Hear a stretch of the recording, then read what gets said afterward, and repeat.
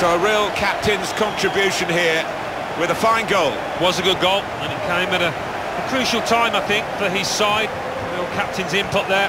Let's see the replay now.